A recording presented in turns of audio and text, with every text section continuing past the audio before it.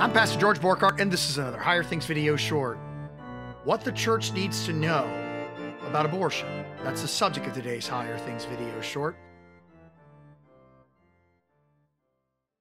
Like, subscribe, ring the bell, get the app, share, donate. If you love what we're doing in Higher Things, like our videos, subscribe to our YouTube channel, ring the bell for notifications. Share. Sharing is caring. Donate.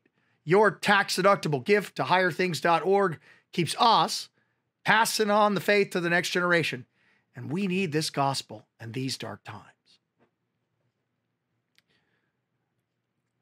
Life Sunday was recently, which is one of the most difficult Sundays for many of our members. And that's what I want to talk to you a little bit about today. There is a responsibility that we have in the church to preach the truth, abortion is evil, and to live the truth of mercy and grace in Christ Jesus. What I mean by this is that we've won the argument. The majority of Americans polled by Gallup recently, and most importantly, the majority of millennials and Gen Zers believe that life begins at conception and that abortion is murder. Now, what we need to do as Christians is follow that up by changing ourselves. And what I mean by that is it is not enough to just tell someone that abortion is evil. It's not enough. It's not enough.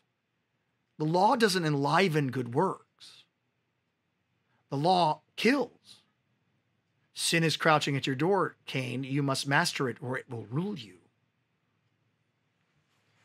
We as a church body, we as a people, need to think about a couple of things.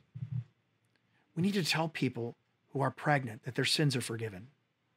We need to tell people who are, are pregnant outside of redlock that it's going to be okay, that they're welcome in our churches, that the baptismal font's not going to boil over if they come in. We need to tell them that God loves them in the giving up of, their, of, of his son and that he is for broken people. He is for people who make mistakes. He's for those who, who,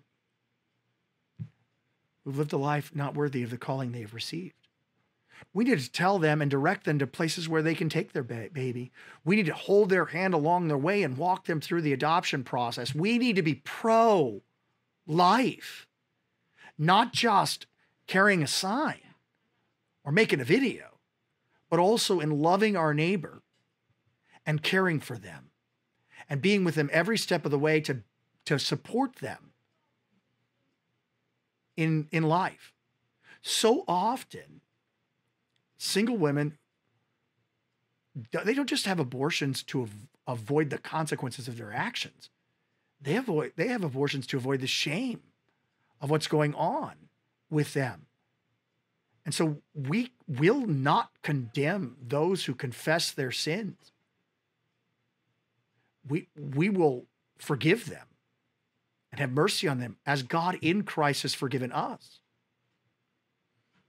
And on Life Sunday, we also need to take special care because a lot of our members skip Life Sundays, both male and female, who have either participated in an abortion, abortion or gotten one and so we need to be extra careful to proclaim the good news.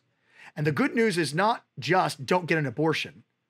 The good news is that those that, that if you have participated in something like that, if you've done this, if you okayed it happening, the blood of Jesus covers your sins. And you have peace with God, and He has forgiven you.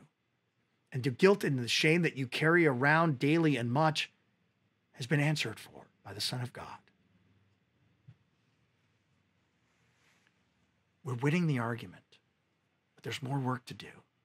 And the best work is the gospel work of telling people, telling women who are pregnant outside of wedlock, telling men who have someone that they've sinned with, telling those who've had abortions that their sins are forgiven by the suffering and death of Jesus.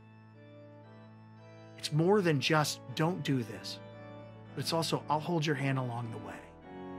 And God in Christ Jesus has forgiven you. I'm Pastor George Borghardt, and this has been another Higher Things video short.